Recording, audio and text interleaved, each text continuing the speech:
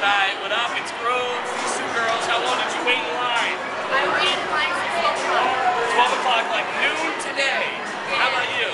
Hey, How cold are you? Seriously. freezing. Was it worth it for Justin Bieber? Yes! How excited are you to see Justin Bieber right now? Really excited. I asked him to hit the stage in a few minutes. to TJ Wright, Christian TJ now, and it's a commercial-free Monday on the new 98.7 AMP radio live from the Royal Oak Music Theater for Kringle Jingle. All right, first one down.